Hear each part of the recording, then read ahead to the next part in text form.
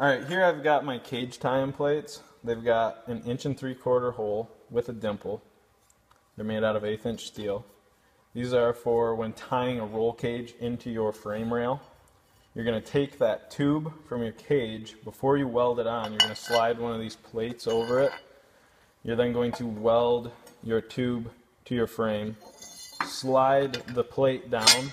The dimple in the plate will cover your original weld. You can then stitch weld this along with the perimeter and then plug weld all these holes. This will give you a really strong joint and hopefully prevent any stress fractures in the welds or the frame. And uh, should be really strong. I can make these in lots of different sizes, shapes, whatever. Give me dimensions and I can get you some made. Thank you.